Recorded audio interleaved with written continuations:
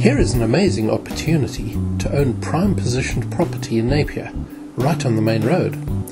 A property that can be transformed into business premises, plus there's also a residential and lifestyle opening with these two dwellings on the one erf.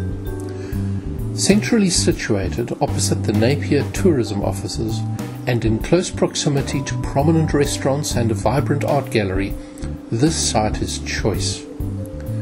This lovely old Napier house can be subdivided into two secure premises so that the front portion can serve as a small business venue. Uh, it has a covered balcony from where you can overlook the passing parade, and it would be ideal for display purposes. It has a small self contained loo and a wash basin for staff. While the back portion of the house comprises two bedrooms, a lounge, and a bathroom with a separate loo. There is a large farm style kitchen, which is perfect for eating in, and the lounge and kitchen both have doors that open out onto the back patio and the spacious garden. The whole house has beautiful quarry tiled floors throughout. The beauty of this dwelling is that it is actually zoned for commercial purposes. So, in the event you wouldn't want to use it as a residence, the entire place can be used for business purposes. It can be described as a user friendly venue, perfect for the live and work situation.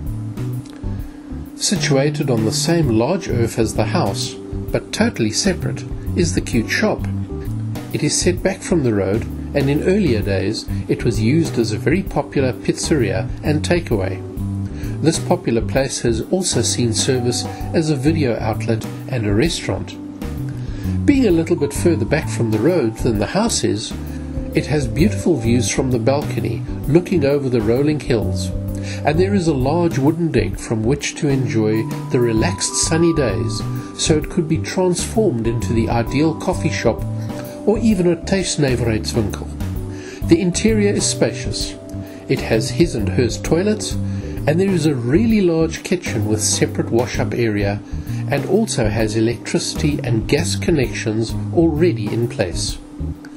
The kitchen opens up to the back garden, so it's ideal for growing your own herbs and vegetables with still plenty of garden left for children to play in. Between the two premises is a walkway from the front and it leads directly into the back garden.